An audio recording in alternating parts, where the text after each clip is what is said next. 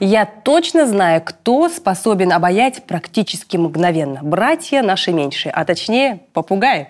Эти пернатые могут не только нас умилить, но и хорошенько рассмешить. Посмотрим видеоподборку, чтобы в этом убедиться.